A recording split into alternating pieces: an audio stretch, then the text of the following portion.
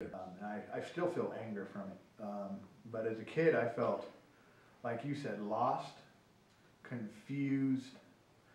I always wish there was a safe place I could go run away to. Um, in fact, I ran away a couple of times. Um, but then to be hauled back by the police. I'm all right. If that's if, if the Brady Bunch is, is is is is the good family, then we're the opposite end of the spectrum. We're Right. Satan's children Right. or something. I don't. My father was late. It was Christmas morning.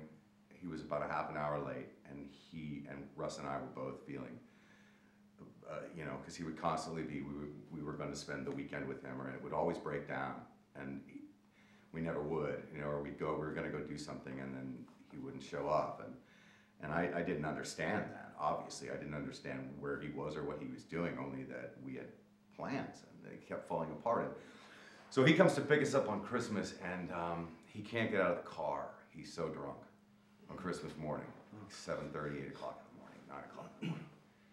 And I'm terrified. I'm 13. But he can't drive. And I'll figure it out. And my mom is like, You're not getting in the car, you're not going, and he can't even talk. I mean, I don't know how he got there.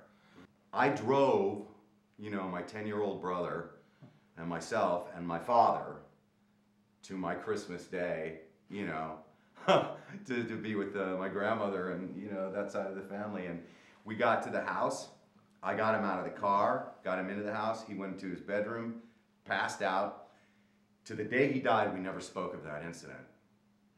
I never knew whether I should bring it up, how I would broach the subject, but that was that was our relationship um, when we had one, and it was me taking care of him.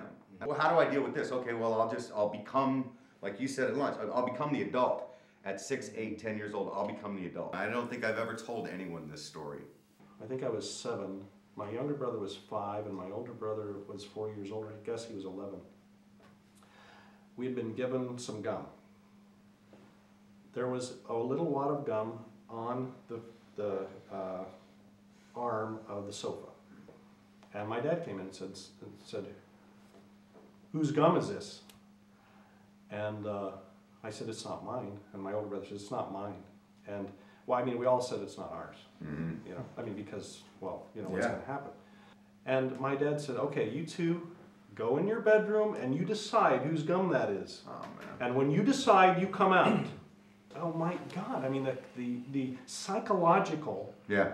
effect of that, of, okay, do I take a whipping because, you know, so that he doesn't? Right. Mm. Or do I say, you know, it's not my gum, it's yours, and make sure that he gets a whipping? I mean, it's like, when it's such a fucking simple thing, why put kids under such a terrible psychological, you know, strain when it's such a fucking simple thing?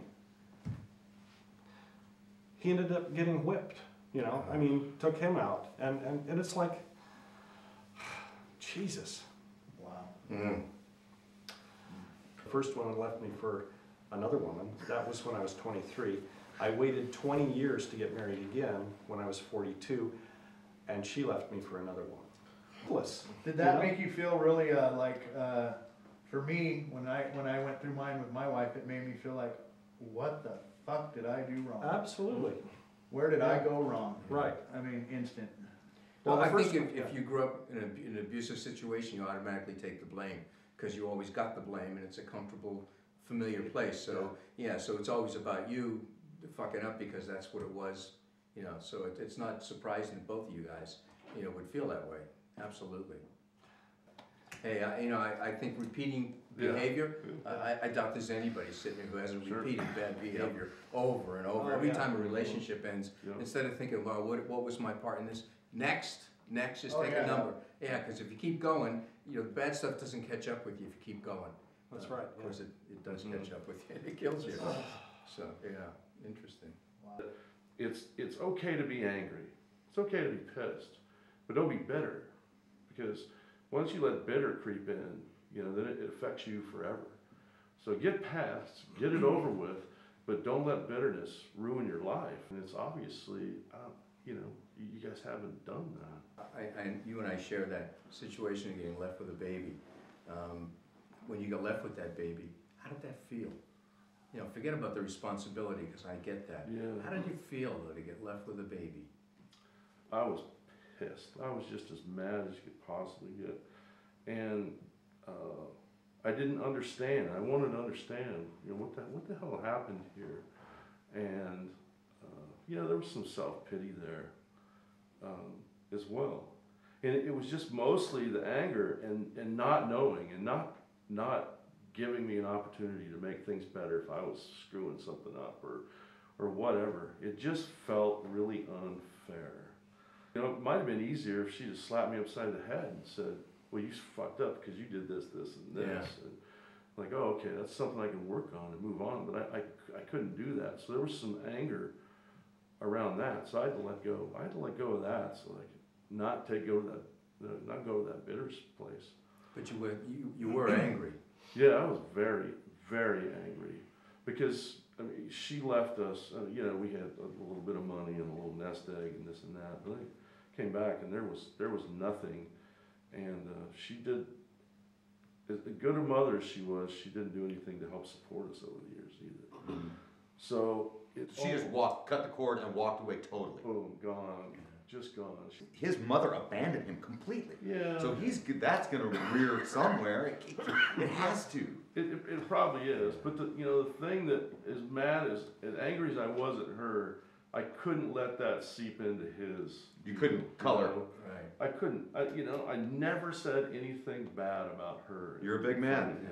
In more ways than one. Just, You think about her now? Because I found that fascinating when I heard that sentence come out of your mouth. no, I, I think she's, I think she's a wonderful person, I, Now, that's the part I find fascinating. and I. That she walked out and you left her with the baby and you still use the word wonderful in describing on you, man, to be able to do that. Yeah, Well- that, that wouldn't work in my world. Uh, he called up and wanted to talk to my grandparents, and he didn't know who it was. You know, I'm a man. Mm. And the last time he saw me, I was a 13, 14 year old boy, scared the shit out of him. You know, I mean, Oh, I was boy. scared to death of this guy. And he, he says, Yeah, this is John West. I want to talk to. I'm all, Whoa, hey, do you know who this is? How about that? And uh, so I let him have it. And I said, You know, you don't ever call my grandparents' house again. I said, I'm, I'm not the little scared 14 year old boy anymore, I'm a man. And I, I let him have it. I told him he was a piece of shit. And at that time, I had all this anger. Mm. And I told him, I said, if I ever were to see you on the street, I would kill you where you stand. Mm. I would, with my bare hands, I'd rip your throat out. I was very angry, but it was relieving. It was relieving. It was relieving to take that anger and hand it back to him. Yeah. Because that's what I did. I said, I'm not holding this anger uh, for you anymore. I'm gonna let you have it. It's back on your plate now. And I was able to do that with my real father too, uh, not too many years ago. And those were life-changing moments. Yeah. It took, it took the, a lot of this baggage that I've been carrying on my shoulders for years and years and years and put it back to where it belongs. The power that I've given small people, not you know, physical stature, just small people, and given them power over my life for, Mhm. for years. See, I have a hard time with that. I don't think my dad did the best job he could. Hmm. I just don't think he did. Mm-hmm. I think my mother carried him, and she did his job too. I mean, she's an amazing woman, amazing woman. And the strength that she had, and to carry, carry forward and to raise three kids, basically, no, four kids. She had to raise him too. Mhm. I mean, he was no older than a twelve-year-old. I, I, still believe that. And he could have done fucking better. So you're not ready to forgive me I'm. I'm not ready yet. But I- if I- he still have- was, I still have okay. a lot of. S- But, but, but let me ask you this, if, you just said it, I think, I think, and if you take stock of this, of the sentence, you just said he was no better than a twelve-year-old. Right. Well, if he was emotionally a twelve-year-old, Then then, maybe he was doing the best he could. as a because he 12-year-old. was not equipped, right, maybe? There we go. He was not equipped. And one way or the other, you, you, one way or the other, you didn't let him have power over your life anymore. Whether, whether you said he did the best job or not, Right, yeah. you refuse to give him that power. Well, Absolutely. I, I think we all have a, a, a, a lot of people have a misconceived perception of forgiveness though, too. Uh, forgiveness doesn't mean that what they did is ever gonna be considered right. No, no. It's, it's, it's basically you releasing Yourself. yourself Yeah. from the wrong. Right. Um, basically, you know, you say, eh, when, when, like, I went through this with my mom, you know, we, I had some issues with her, and I've recently told her I forgave her, and, and she did the best she could with what she had, and what she was left with, and the position she put herself into, okay, I give her credit for it, cause she did basically raise six kids in this horrible situation, pretty much by herself. Um, but I've learned that, you know, it doesn't mean that you still can't be angry about what happened to you. Yes.